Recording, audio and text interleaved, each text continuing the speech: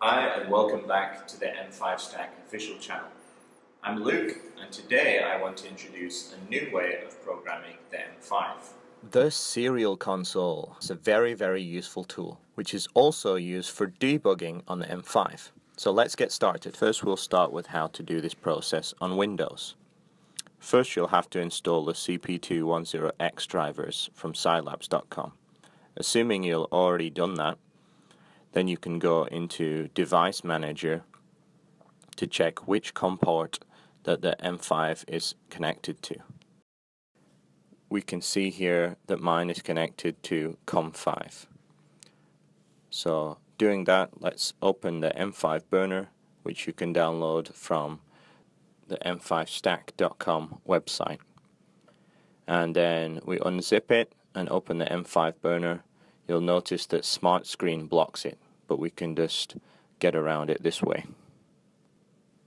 On opening, we can set our COM port to COM5 and the baud rate to 115200. The first three kinds of firmware in the list are all MicroPython based, so we can access their flash system over the serial console, which is what we're going to do today. So let's flash the firmware first. You may need to erase the flash first depending on which version of the M5 you have. Then once it's erased, click burn. And we're done. Now to communicate over serial with the M5, we're going to need a tool such as PuTTY. Uh, so we'll first get PuTTY from their official website. If you have another terminal program that you prefer to use, you can also use that. And then we'll download PuTTY. And then once it's downloaded, extract it, open the installer, and then once it's finished installing, we'll open up PuTTY. Now we're in PuTTY, make sure to set the communication to serial, set the port to COM5, and the baud rate to 115200 and then click open. Now the console window will open and if we've reset the M5 we can see its initial startup program.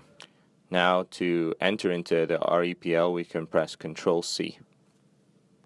Now I'm going to show you how to set up the serial communication with the Mac and then after any commands that we use will be the same as the Windows version.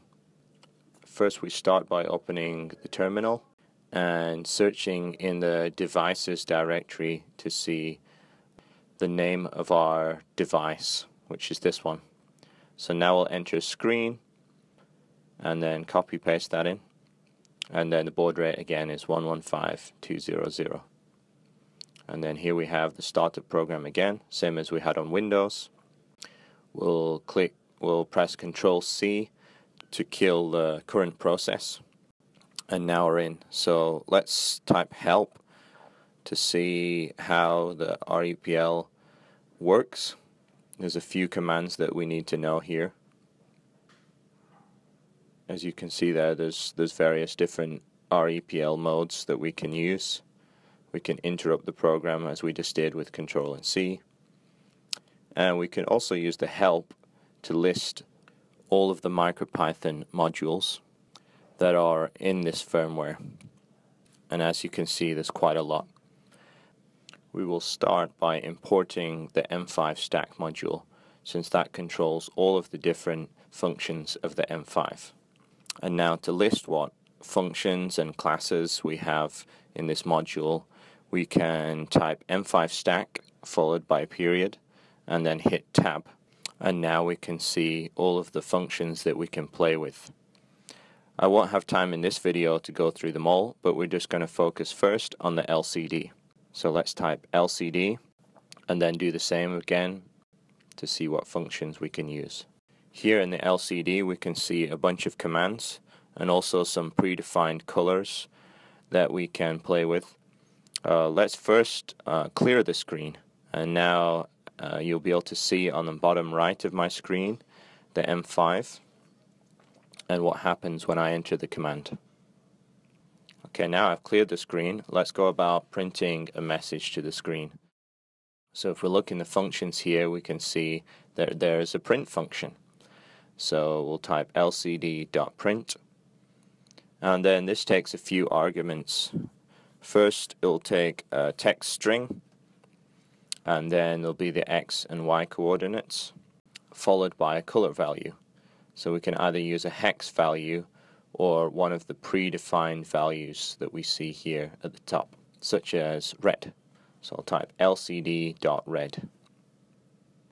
And as you can see, when I enter this command, Hello World appears on the screen. Now let's try some of the graphics elements of the LCD. Let's try the draw circle function. Now the draw circle function uh, first takes an x and y coordinate and then it takes a radius and then a color. 20 for the radius and then let's see we'll choose navy for the color. Lcd dot navy. And there we have it. Appears on the screen.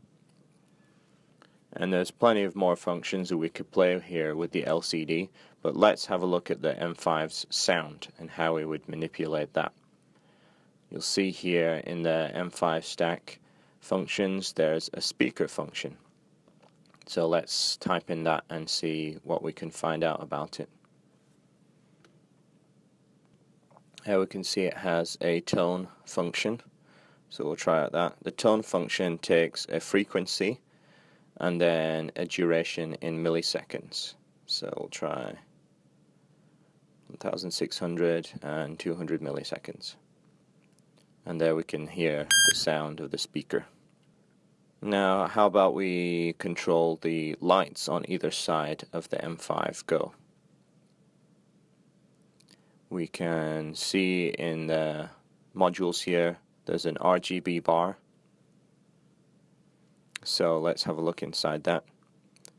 Uh, no, that's not what I want to do. Um, RGB underscore bar period and then hit tab. Okay. Now let's try the set all command. First I'm going to assign this to a variable and then it'll be easier for me to um, set later on. So now I type rgb dot set underscore all and then as I said earlier with the colors we can set a hex value if we want so 0xff so for this one red and then we hit enter and as you can see the lights have come on. So these are just a few of the functions that we can control through the serial commands. Um, let's have a look how we could look through the file system. We use import OS and then again we'll look inside the OS module. We've got the list dir for list directory. So we can try that there os dot list directory and then followed by brackets. And there we are. We can see a few folders a few Python uh, files that are modules. And lib is the folder where most of our modules that are not in the firmware are, are on the file system. So if we type lib surrounded by quotation marks and there we are we've got some extra modules here and so you can continue to explore here, having a look at around the file system and just experimenting. For documentation on the API, uh, we'll post the links in the video. Uh, it's still being populated, so you'll have to bear with us there. Um, but feel free, explore in the Serial Console, and uh, if you have any questions or comments, place them down here or go to our forums and I'll see you next time.